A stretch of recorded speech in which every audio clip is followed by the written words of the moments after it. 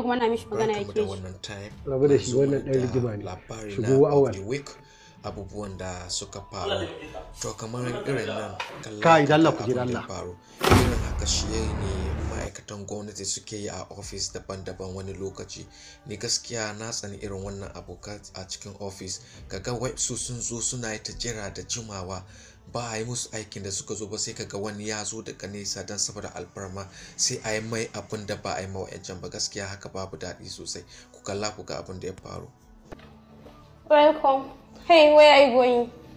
Eh zan ga ogani you can't just walk fast and enter his office just like that. Who are you? Go and ask him. I'm asking you. Okay i am awal. Tell him. You can't see him. He's busy. He's busy?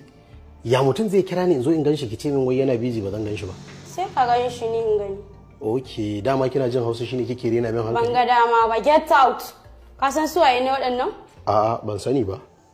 Manajojin kamfanin nan ne. Kuma ya ce shi ma bare gansu ba.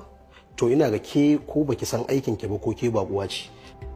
To ai zai iya kin ganin manajojin kamfani. Amma ya ga masinja ko mai shara. Ya haka ne?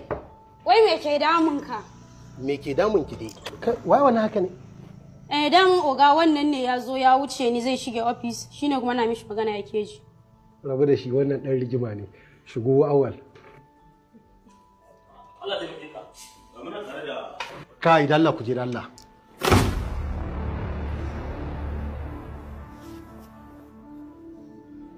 Zai gamu ba.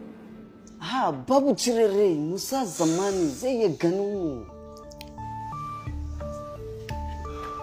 Wato kai dai awal mana dai ka dai